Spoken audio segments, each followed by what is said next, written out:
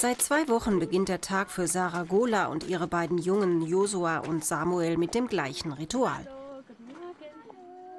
Der Morgenkreis in der Jurte ist der Start in einen aufregenden Kindergartentag auf dem Bauernhof.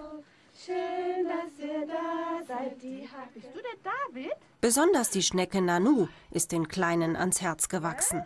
Ich hab ihn noch nicht gesehen. Da sitzt die Valerie. Hallo, Valerie. Draußen geht's mit der Naturpädagogin zum Futterholen für die Ziegen. Die Kinder sind hier nicht nur den ganzen Tag an der frischen Luft, sie können bei allen anfallenden Arbeiten auch aktiv mitmachen. Dazu gehört zum Beispiel Haselzweige schneiden fürs Ziegenfutter. Super.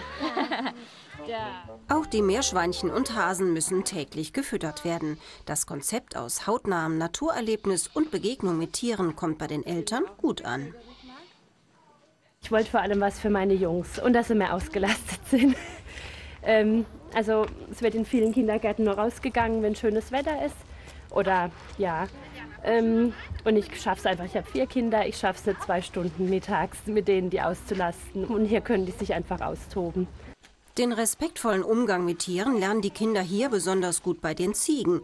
Die Vierbeiner zeigen den Kindern schnell, wenn diese zu stürmisch oder zu laut sind. Dann ziehen sie sich einfach in ihr Refugium zurück. Ich finde das sehr wichtig, dass die Kinder ähm, lernen, mit den äh, Tieren gut umzugehen, dass die äh, lernen, sich um eine zu kümmern. Oder äh, ich denke, von Natur aus haben die das sowieso, die Kinder, diese Freude daran, äh, die Tiere zu futtern oder sich um die zu kümmern. Sie übernehmen sehr viel Verantwortung. Sie lernen schon sehr früh, die Tiere sind auf uns angewiesen, sie brauchen uns, damit wir sie versorgen und sie geben uns aber auch was zurück. Bauernhof Kindergarten, das ist Lernen mit allen Sinnen. Ein Sack Kartoffeln sind fünf Kilo. Will der andere auch? Woher stammen die Lebensmittel? Wie werden sie erzeugt? Was sind sie wert? Wichtige Fragen, die hier ganz spielerisch beantwortet werden. Ich habe aber Tomaten. Ich verkaufe Marmelade.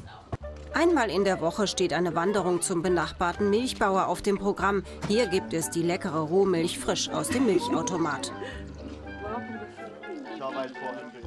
Und dann dürfen die Kinder sogar noch das zehn Tage alte Blümchen streicheln. Ein erlebnisreicher Vormittag auf dem Bauernhof geht zu Ende. Jetzt haben sich die Kinder ein ausgiebiges Feschbar verdient und sie freuen sich schon auf morgen, auf den nächsten Tag im Bauernhof Kindergarten.